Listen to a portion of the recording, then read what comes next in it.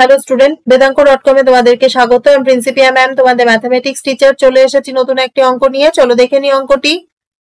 একটি বৃত্তের বলয়ের ক্ষেত্রফল তিনশো বাহান্ন বর্গ সেন্টিমিটার এবং এটির বহিবৃত্তের ব্যাসার্ধ ষোলো সেন্টিমিটার হলে এটির অন্তর্বৃত্তের ব্যাসার্ধ কত?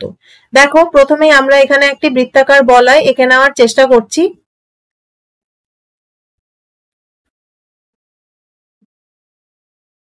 তো এখানে বলেছে বৃত্তের ক্ষেত্র, বর্গাকার বৃত্তের। এই বলয়ের ক্ষেত্রফল হচ্ছে তিনশো বাহান্ন বর্গ সেন্টিমিটার এবং এর বহির ব্যাসার্ধের দৈর্ঘ্য। বহির্বৃত্তের ব্যাসার্ধের দৈর্ঘ্য মানে এটি হচ্ছে ষোলো সেন্টিমিটার। তাহলে এখান থেকে আমাকে অন্তর্বৃত্তের ব্যাসার্ধ আমি জানি না। তাহলে অন্তর্বৃত্তের ব্যাসার্ধটা আমি ধরে নিলাম আট সেন্টিমিটার আর বহির্বৃত্তের ব্যাসার্ধ এটা হচ্ছে আর ক্যাপিটাল আর সেন্টিমিটার।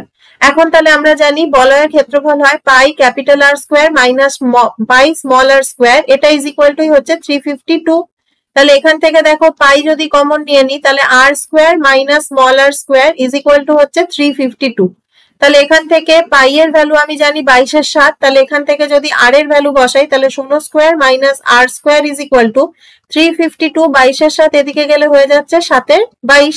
তাহলে এখান থেকে এগারো দিয়ে কাটলে দেখো পাচ্ছি এগারো তিনে তেত্রিশ, এগারো দুগুণে বাইশ আর এগারো দুগুণে। এখান থেকে আবার দুইয়ে কাটলে ষোলো।